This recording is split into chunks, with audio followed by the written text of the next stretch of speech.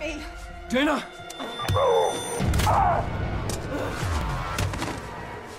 I'm not gonna hurt you. I need your help. Jesus. I knew something fucked up was going on at Gentek. What the hell happened to you, Alex? I've been researching that whole fucked up organization for weeks. I was poking around to get you information. Don't you remember? You wanted to find out what was going on at the highest levels at Gentek. Anything about the director of research. Do you... Are you okay? Do you know what happened? I, I haven't even seen you in five years, not until you show up at my door last month. Is there somewhere we can go? Yeah, I, um, I know a place. So come in. It's, uh, it's a friend's place. They're gone for a year. Patagonia or something. Any idea what this all means? No, but I'm gonna find out. I mean, this is a story of the century, so somebody's gotta know what the fuck is going on here.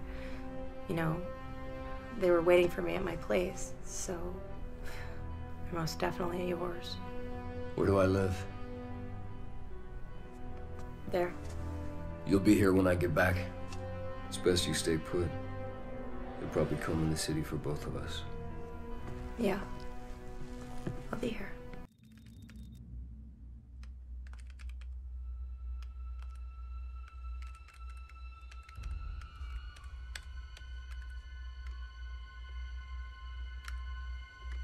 Find anything? Jesus Christ, don't do that. Sorry. Okay, uh, your apartment? There's nothing left there. Well, it doesn't matter. I've been looking at your laptop. Laptop. Yeah. It came in a package the day after you went AWOL. Look.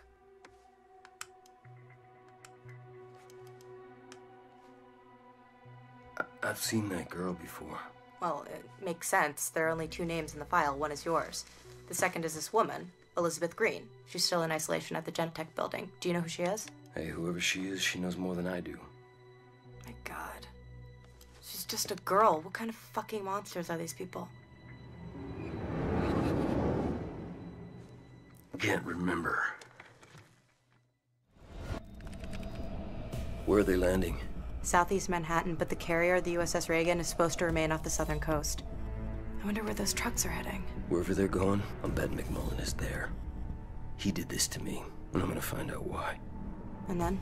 Then I'm gonna make sure he never does it to anyone else. Ever again.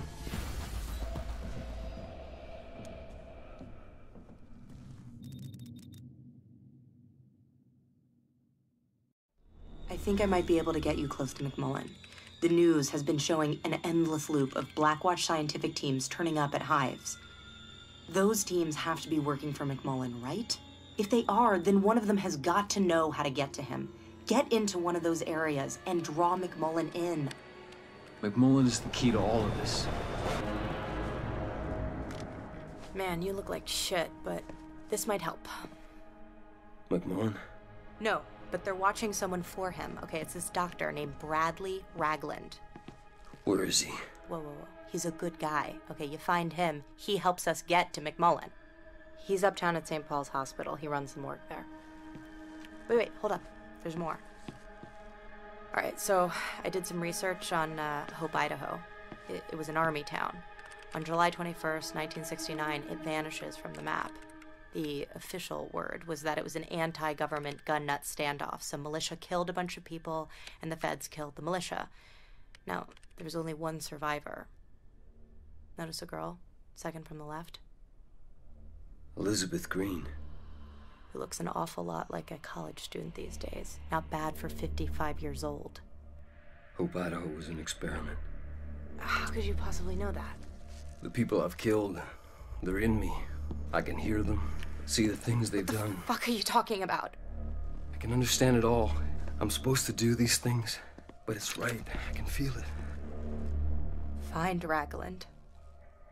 And ask him about McMullen.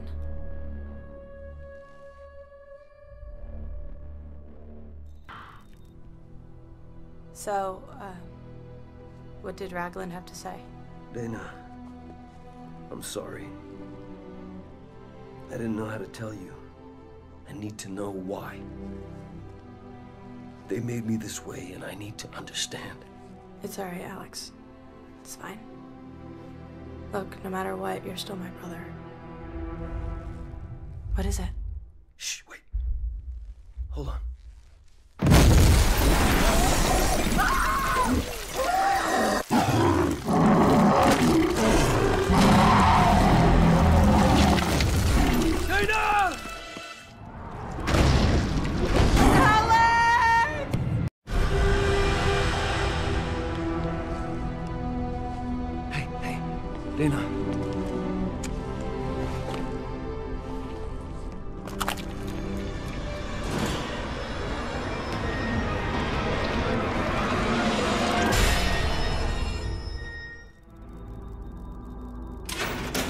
What happened?